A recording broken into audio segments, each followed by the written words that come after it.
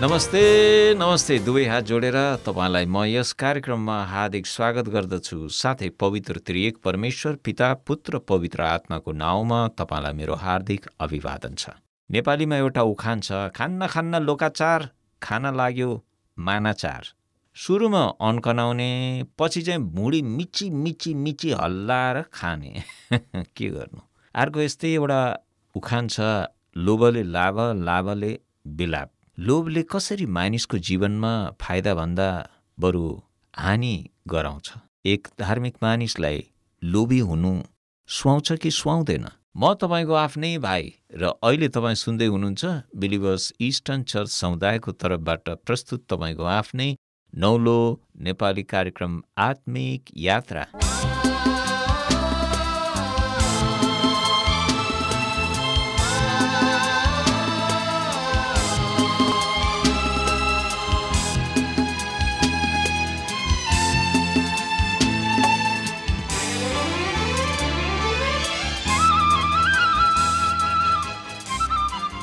आदरणीय मित्र यो कार्यक्रम तपाईँको आफ्नै कार्यक्रम हो।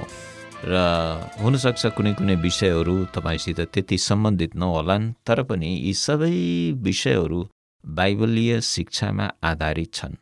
र यी प्रस्तुत कार्यक्रमहरू धेरैजसो बाइबलका शिक्षा नपाएका मानिसहरूको निम्ति उद्देश्य बनाइकन प्रस्तुत गरिएको कारण सरल सहज र साधारण छन्। तर यसको अर्थ र निष्कर्ष गहिरो छ। तपाईँ म सँगसँगै प्रार्थना गर्नुहोस् कि सुन्ने सबै श्रोताहरूलाई यी सबै सामग्रीबाट आशिष मिलोस् र जीवन एउटा अर्थपूर्ण उद्देश्यमा निरन्तर अगाडि बढ्न सकोस्। धन्यवाद तपाईँलाई। आउनुहोस् सदैव चाहिँ आज पनि एउटा मधुर अर्थपूर्ण सङ्गीत भजन सुन्दै आजको सन्देशको निम्ति हाम्रो हृदयलाई तयार गरौँ। प्रिय प्रभुको छल्की आनन्द पोखिँदछ। स्तुति गाउँछु प्रिय प्रभुको छल्की आनन्द पोखिँदछ। सम्झि त्यो निस्वार्थ प्रेम कलबरीको हृदय थाम्न सक्दिन। हृदय थाम्न सक्दिन। स्तुति गाउँछु प्रिय प्रभुको छल्की आनन्द पोखिँदछ।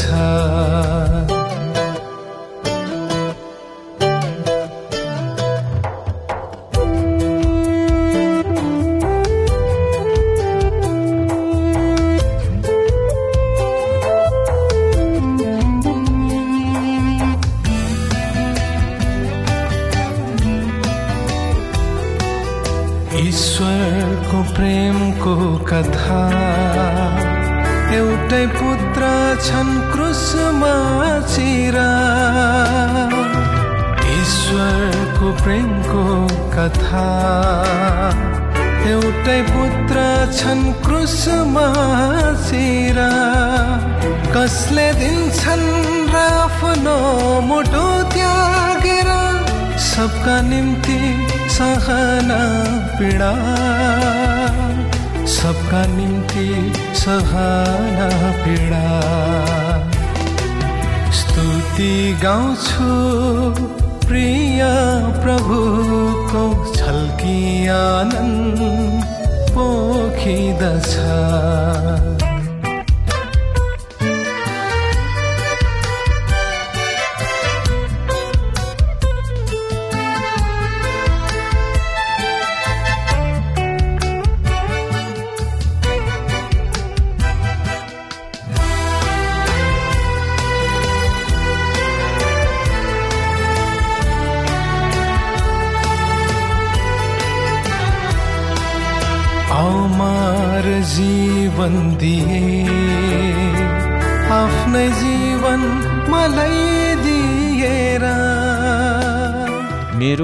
तपाईँको पनि जीवनमा लोभ भन्ने कुरा टाँसिएर बसेको हुन्छ। कता कता?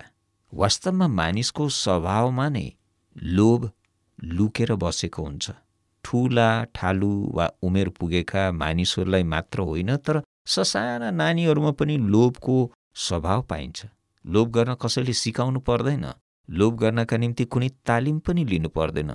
दुई सासाना नानीहरूलाई एकसाथ तपाईँले बोलाएर मिठाई दिनुहोस् एउटालाई ठुलो अनि अर्कोलाई सानो मिठाई दिनुहोस् अनि हेर्नुहोस् त तिनीहरूको व्यवहार ठुलो मिठाईका निम्ति सानो पाउनेले लुच्छा चुडी गर्न थाल्छ।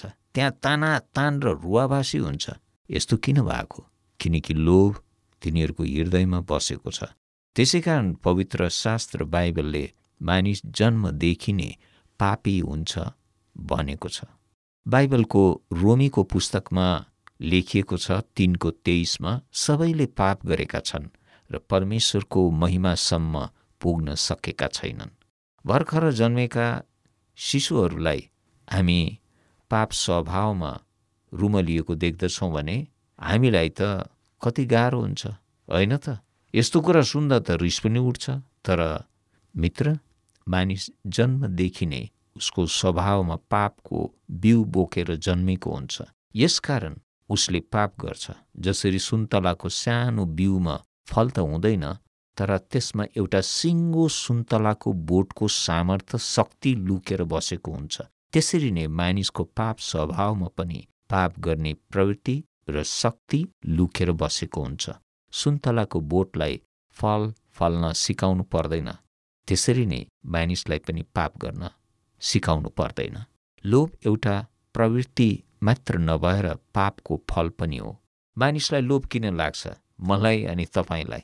आफूसँग भएका कुराहरूसँग सन्तुष्ट नहुनु नै लोभ गर्नु हो। कति मानिसहरूसँग आफ्नो जीवन जिउनका निम्ति प्रशस्त कुराहरू हुन्छन्। सम्पत्ति र धन पनि हुन्छ तर उनीहरू अझै अझै अझै पाउने इच्छा गर्छन्। यसो गर्नुलाई नै लोभ गर्नु भनिन्छ।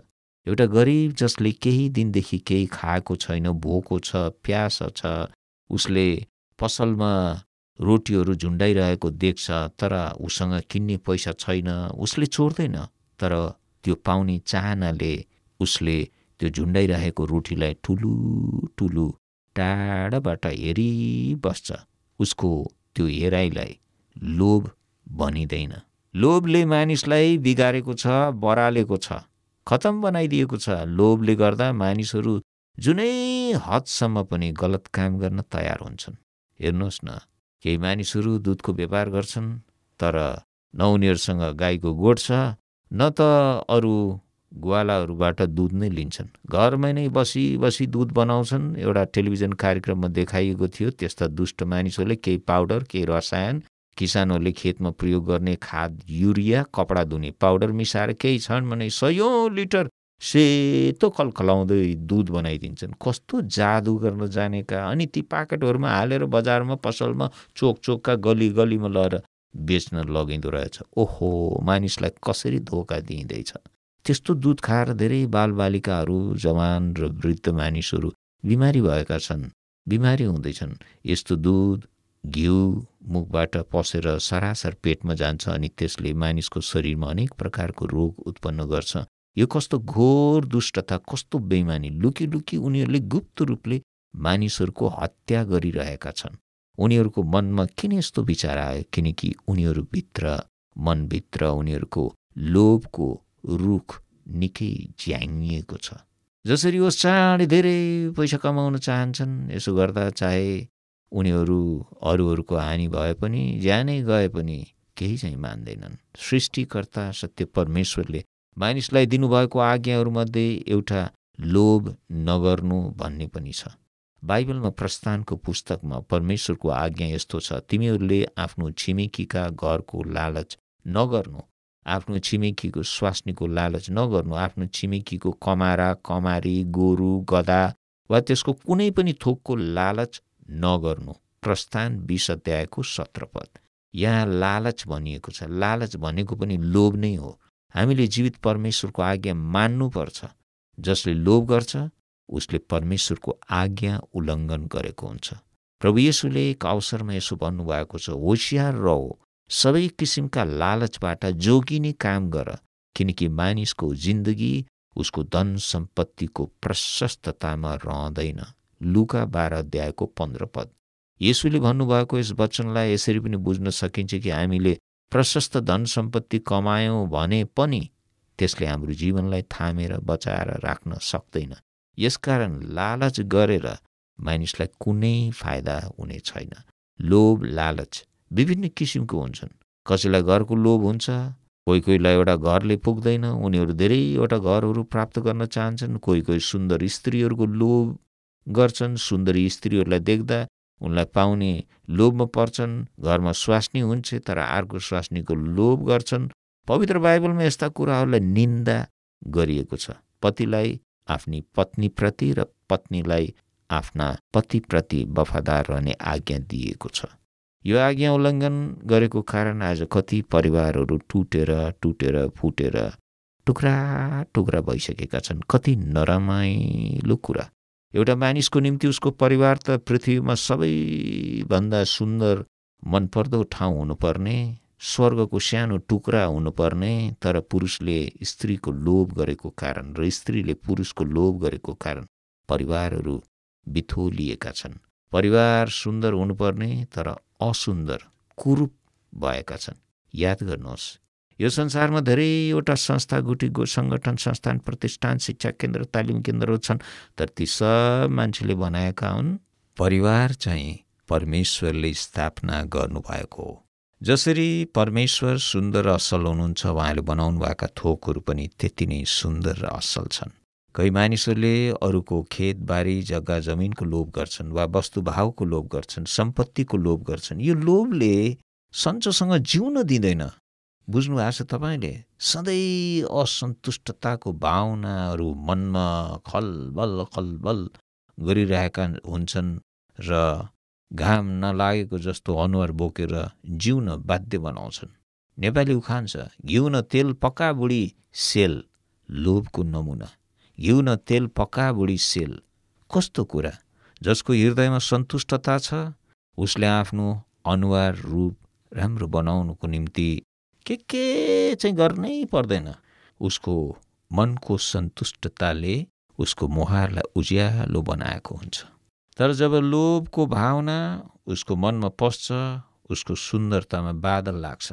मेरो आवाज सुन्दै गर्नुभएका प्रिय मित्र लोभको पछि लागेर आफ्नो जीवनको खुसीहरूको हत्या नगर्नुहोस्। कोही कोही हुन्छन् जो अरू अरूबाट इज्जत सम्मान प्रतिष्ठा पाउने लोभ गर्छन्। सम्मान इज्जत पाउनु कुनै नराम्रो कुरा होइन तर त्यसको निम्ति जीवनको व्यवहार पनि त त्यस्तै हुनु पर्यो होइन त? दुष्ट काम गर्न छोडी कसैले असल र भलाइको काम गर्छ भने ऊ सम्मान र इज्जतको हकदार हुन्छ।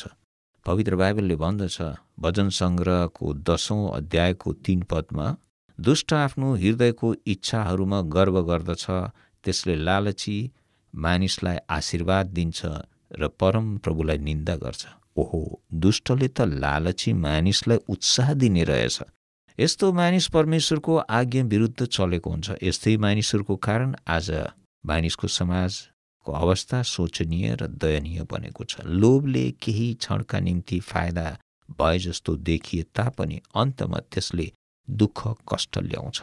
बाइबलमा हितोपदेशको पुस्तकमा लेखिएको छ पन्ध्र अध्यायको सत्ताइस पद लोभी मानिसले आफ्नो परिवारमा सङ्कष्ट ल्याउँछ तर जसले घुसलाई घृणा गर्छ त्यो जिउनेछ। बाइबलले यो पनि भन्दछ पहिलो तिमोती छको दसमा रुपियाँ पैसाको मोह नै सबै किसिमको खराबीको जरा हो। पैसाको लोभमा परेर कोही कोही विश्वासबाट कुमार्गतिर लागेका छन् र धेरै पीडाले तिनीहरूलाई हृदय खोचेका छन्। लोभी मानिसले परमेश्वरमाथि कहिले पनि विश्वास गरेको हुँदैन। परमेश्वर माथिको भरोसा गुमाएको हुन्छ। लोभले केही भौतिक कुराहरू जुटाउन सहायता पुर्याए पनि हृदयमा खुसी र शान्ति ल्याउन सक्दैन। लोभले मानिसलाई विनाशको बाटोमा हिँडाउँछ।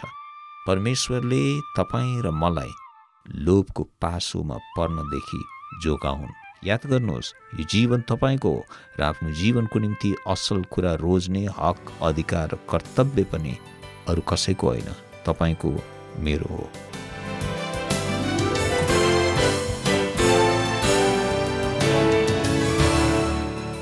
धन्यवाद तपाईँले आफ्नो बहुमूल्य समय दिएर मसँगै बस्नु भएको छ।